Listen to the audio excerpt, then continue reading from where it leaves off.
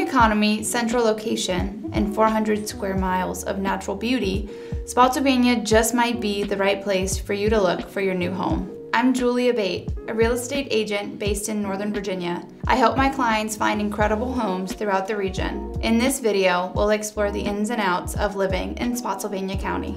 Spotsylvania County is located midway between Richmond and DC. While most residents commute with their personal vehicle, there is access to the VRE commuter rail service at Spotsylvania Station, Zone 9. There is also an Amtrak station and several park and ride lots in nearby Fredericksburg. Homes in Spotsylvania are often less expensive than other areas in Northern Virginia. The key is that you will definitely get more home and acreage for your money, and there are a good variety of properties to fit any budget. If a single family home is what you're looking for, there are many fantastic neighborhoods to check out. Saw Hill, Lake Anna, Hollybrook, Lake Wilderness, and Stony Brook. These neighborhoods consist of three to five bedroom homes that are competitively priced. There is also a lot of new construction to choose from in Spotsylvania courthouse area. Expansive townhomes and two-story homes with up to 4,500 square feet of living space are easy to find.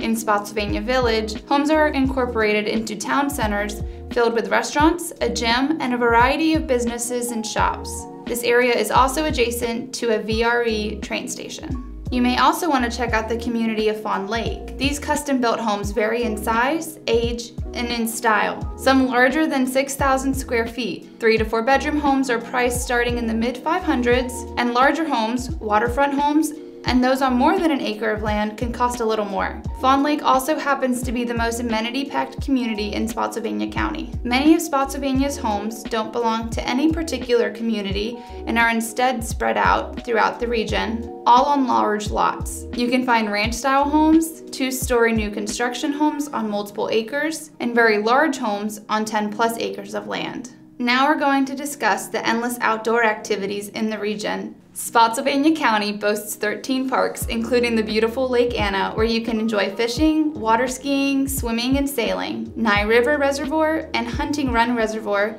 are beautiful areas, also worth checking out. Spotsylvania is well known for its historical attractions and even called the Crossroads of the Civil War. You can visit battlefield sites, and the Spotsylvania courthouse area holds a historic courthouse, jail, church, and museum. There are great golf courses in Spotsylvania County. Lee's Hill Golf Club and Fawn Lake Country Club are very popular.